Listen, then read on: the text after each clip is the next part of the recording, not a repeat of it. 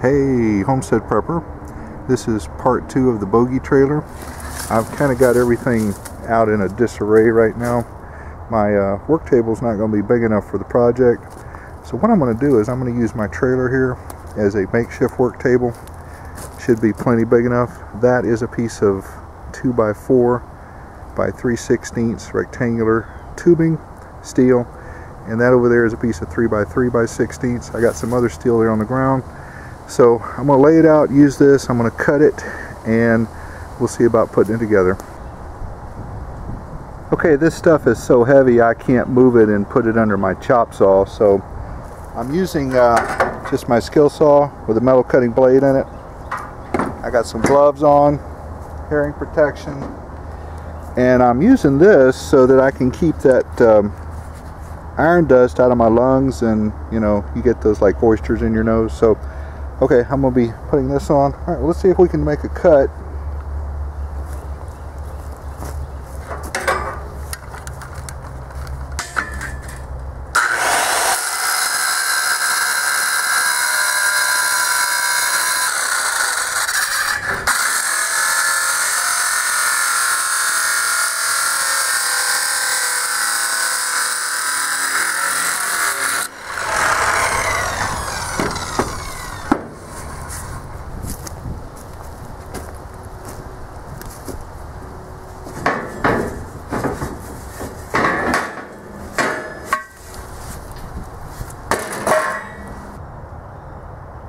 I need to bevel the edges and clean it up a little bit so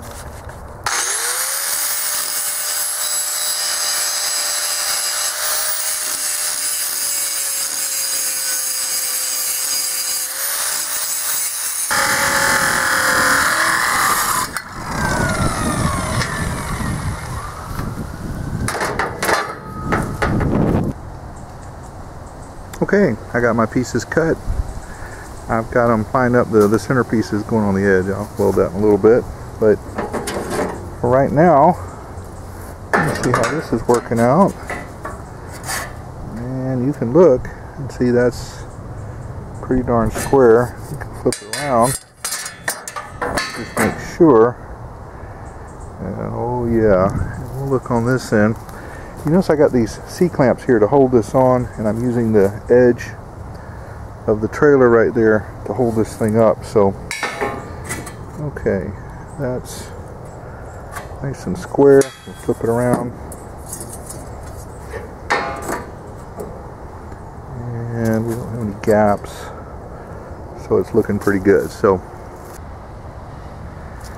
Okay I got one side welded up here and I got to put the other side on and it uh, was not square so I'm having to bow these out a little bit I may have to heat this up but it needs to be square. So let's um, let's take it to the next level here.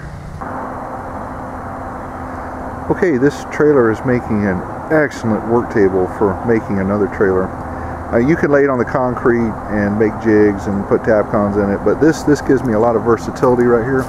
If you've seen what I've done I've uh, to support this last piece here because the, the trailer's not wide enough.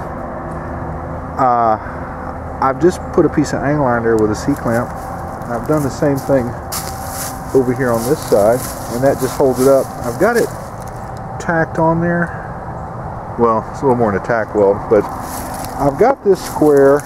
It's square over there, square over there. It's off just a little bit. I've measured the diagonals, so I need to tweak with it.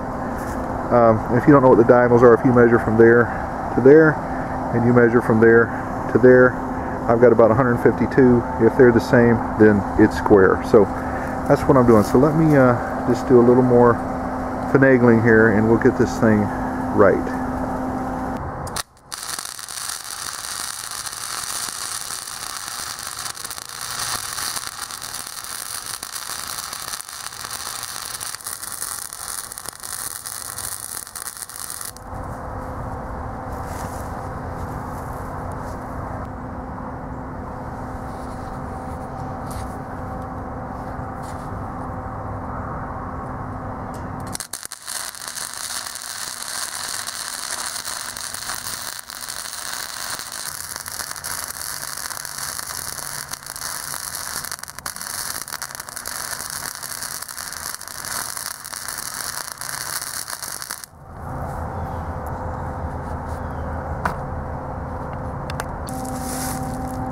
Okay, we'll just take off my little helpers right here.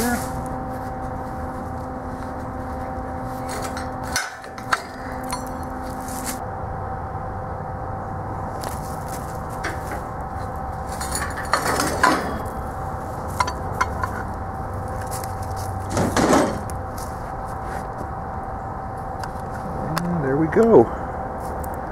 Just need to slide it over and I'm thinking about putting the axles on it right now upside down.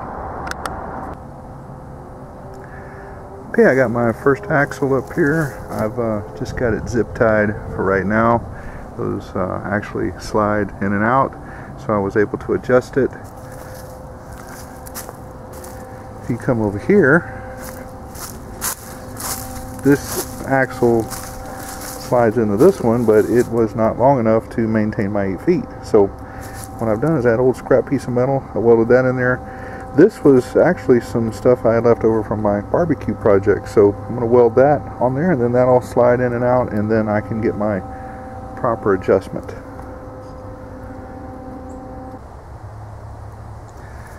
Okay, I got my axles just kind of laid up here. I uh, still got a little bolting down. I need to raise them up. I need to make some plates to hold the thing on but basically it's a lot easier to work on it like this than it would be to work on it upside down which I guess you could say I'm working on it upside down but uh, I, I'm missing a couple of these things right here which I've traced out a piece of metal and I'm going to cut those out. I need four more of them and then I'll be able to hook all that together and then raise it to the appropriate height and make the uh, brackets that hold this on and that'll hold that on. So that's that's where we're at right now.